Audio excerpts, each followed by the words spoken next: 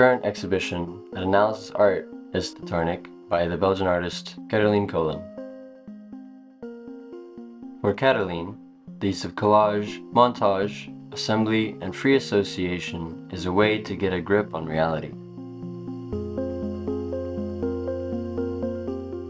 She wants to compress the outside world as one total impression.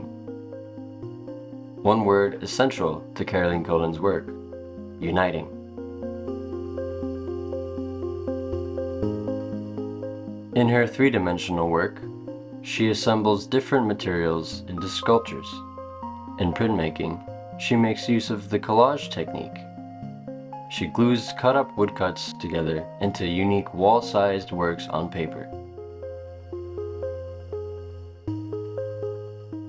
Caroline's multi-layered works reflect the process they are involved in. After in-depth research, travels, observation, sketching, she summarizes her multitude of impressions in her artworks.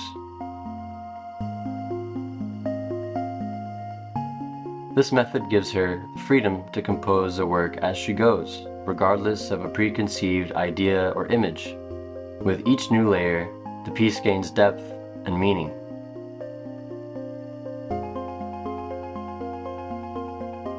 In this exhibition at Analysis Art, Caroline was inspired by the rich history, folk culture, and untouched nature of Eastern Europe and beyond. She used motifs borrowed from these cultures.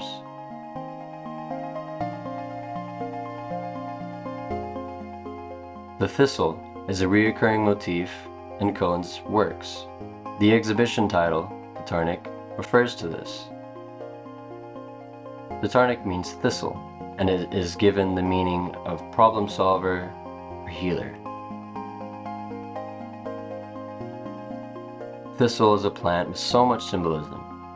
With the Christian tradition, the thistle is a symbol of suffering and sacrifice. At the same time, it is also a healing plant that in earlier times was often mentioned in the same breath as witchcraft.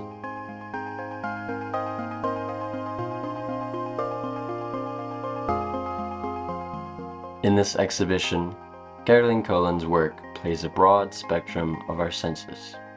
With varied textures and various materials, she binds the visual to the tactile, and the whole exhibition becomes a total installation.